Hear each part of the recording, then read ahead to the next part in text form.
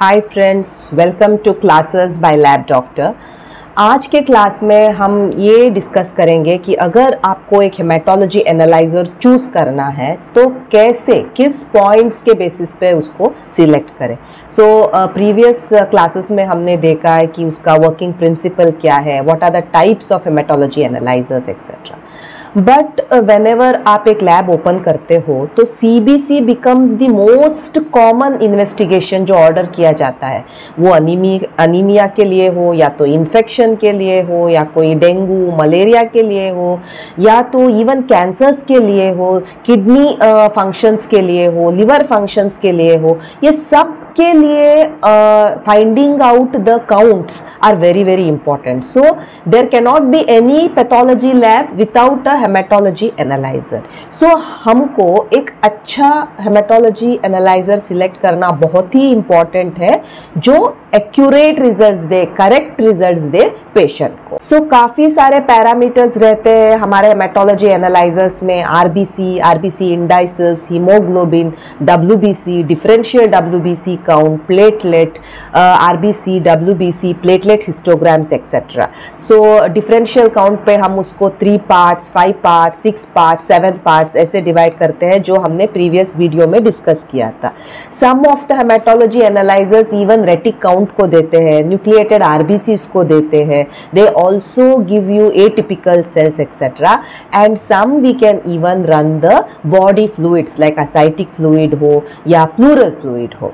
तो now coming to the points किस चीज़ के बेसिस पे हम हेमाटोलॉजी एनालाइजर को सिलेक्ट करेंगे? सो so, समझिए आपका अपना लैब है and you want to buy a haematology analyser so first thing is you have to decide कि आपका सैंपल लोड कितना है and how much big is your lab आपका क्या स्मॉल लेबोरेटरी है मीडियम साइज़ लेबोरेटरी है large laboratory है या रेफरल लेबोरेटरी है?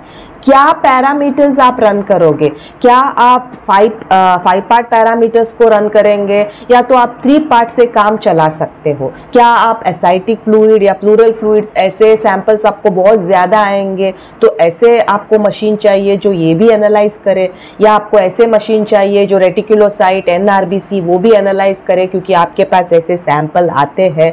या आपका बजट क्या है? सो so, ये सारी चीज़ पे डिपेंड होता है जब आप आप एक हेमाटोलॉजी एनालाइजर को चूज़ करोगे। So this is concern to you and your lab so you have to note down what is the sample load budget and what parameters you need second from the customer point of view you have to give a report आप कौन सा भी haematology analyser ले लो but report has to be accurate and correct this is the most important part and thirdly there are some technical specifications आपको consider करने होंगे before you buy a haematology analyser like throughput कितना samples वो haematology analyser analyse करेगा in an hour तो ये important रहता है। एक घंटे में कितना सैंपल्स हम रन कर सकते हैं? तो जब रन करेंगे तो एक सीबीसी रन करने के लिए वो जो मशीन है, कितना टाइम लेगा? ज़्यादा टाइम ले रहा है, कम टाइम ले रहा है तो आपके सैंपल लोड को वो हैंडल कर पाएगा या नहीं?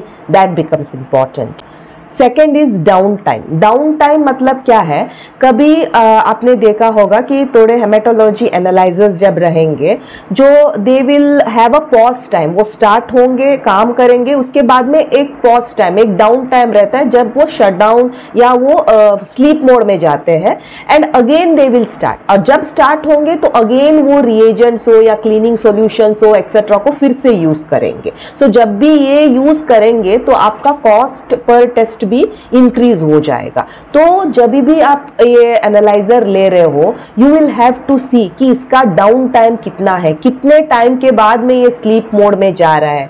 क्या इसके वजह से मेरे ज़्यादा रिएजेंट्स या कंज्यूमेबल्स यूज़ होंगे? सो ये this also you will have to remember one is the quality of the hematology analyzer. You should always go for a good quality uh, analyzer Bharat में अभी बहुत से गुड क्वालिटी एनालाइजर्स है like Mindray हो Horiba हो ट्रांसेशिया हो Beckman Coulters etcetera so it's always better to go for a good quality analyser fourth is reagents supply कैसा है? आपने आ, अभी मशीन तो ले लिया बट जो भी सर्विस प्रोवाइडर है आपको वो रिएजेंट सप्लाई ठीक से नहीं हो रहा है। रिएजेंट नहीं है तो you cannot do any kind of a test on that so reagent supply कैसा है?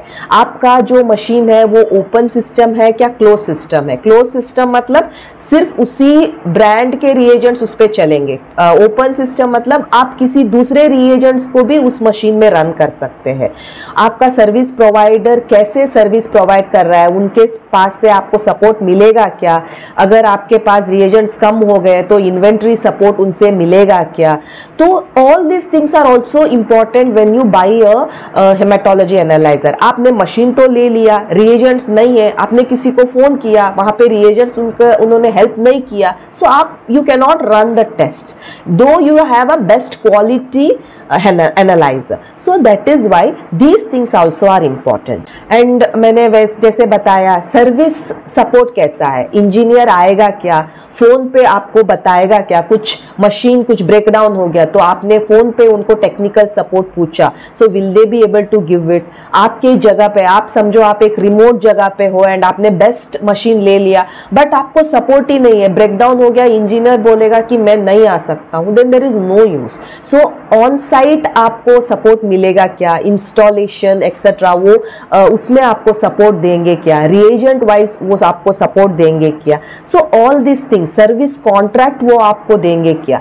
ये सभी भी इंपॉर्टेंट है as much as the analyser because इस पे भी आपका जो टेस्ट रन होगा आपका जो रेवेन्यू होगा आपका जो ब्रांड नेम होगा all this will depend on these factors also analyser कैसे रिपोर्ट दे रहा है? जो एनालाइजर रिपोर्ट दे रहा है, वो एक्यूरेट है क्या? उसका लीनियरिटी कैसा है? प्रिसाइज है क्या वो रिपोर्ट्स कंसिस्टेंसी है क्या? आज उसने हीमोग्लोबिन एट दिया, कल वो हीमोग्लोबिन टेन दे रहा है। ऐसा तो वेरिएशन नहीं है। So all this things you will have to check तो उसके बारे में आपको स्टडी करना होगा। कॉम्पिटिटर रिव्यूज़ देखने होंगे कि कैसा इसका टेक्निकल एस्पेक्ट्स कैसे है। So then you can make up your mind कि yes this machine accuracy precision consistency में अच्छा है and we can buy this machine ये एनालाइज़र का स्टोरेज कैपेसिटी कितना है? तो ये पेशेंट का जो भी डाटा है एंड आपको प्रीवियसली कोई डाटा निकालना है तो कितना तक वो स्टोरेज कर पाएगा? दैट ऑल्सो बिकम्स इंपॉर्टेंट कितना यूज़र फ्रेंडली है, जो भी टेक्नीशियन है, वो कितना ईजिली उसको हैंडल कर सकता है? कितना ईजिली उसके साथ काम कर सकता है? That also becomes important So these are the technical aspects which you will have to consider. Oh, it could be throughput, it could be downtime, it could be reagent support, it could be service support, it could be user friendliness, it could be storage. So depending upon you, your lab, your parameters run, your sample load, your budget, giving a correct, accurate, precise, consistent report and also the technical consideration you will have to decide on a good hematology analyzer. Thank you so much for watching the video. Please like, share and subscribe the channel. Thank you.